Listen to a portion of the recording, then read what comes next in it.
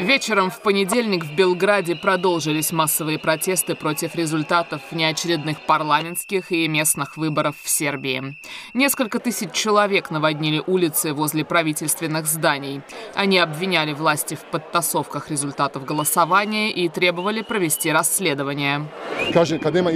Когда мертвы институты, которые способны контролировать власть, единственный путь – это выйти на улицы, мирные протесты и как можно больше людей да се окупи. Мне жаль, я родилась в 2002 и я сожалею, что демократический переход тогда не состоялся. Если бы мои родители вышли на улицы тогда, мне не пришлось бы выходить сегодня, но если нужно, мы закончим эту борьбу. Оппозиция обвиняет президента Сербии Александра Вучича и его правящую партию, собравшую на парламентских выборах более 47% голосов, в фальсификации результатов выборов путем вброса бюллетеней и коррупции. 24 декабря оппозиционеры попытались ворваться в здание городской администрации Белграда.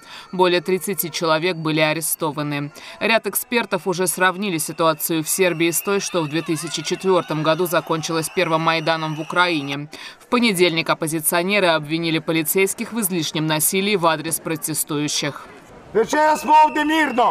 Сегодня вечером мы вышли сюда с мирным протестом, и мы останемся мирными. Но это не будет длиться вечно. За нами стена, к которой нас прижали, а перед нами полицейские кордоны.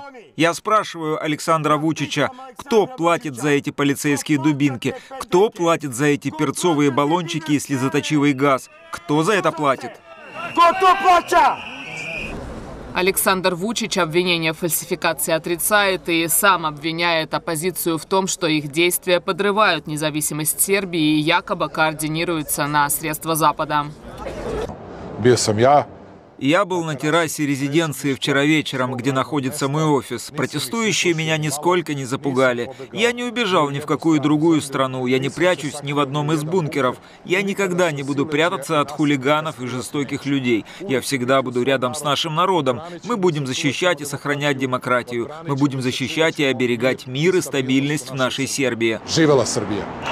Премьер-министр Сербии Анна Брнабич в интервью местному каналу заявила, что российские спецслужбы предупреждали Белград о готовящихся протестах.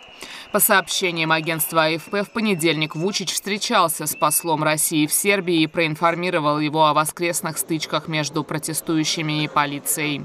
Российская сторона, чьим союзником считается Вучич, назвала результаты выборов легитимными, а беспорядки в Белграде вмешательством Запада налицо, налицо процессы и, и э, попытки, попытки третьих сил, третьих сил, в том числе и из-за рубежа, спровоцировать подобные э, беспорядки в Белграде. Это то, что мы наблюдаем. Мы э, не сомневаемся, что руководство республики обеспечит законность в стране.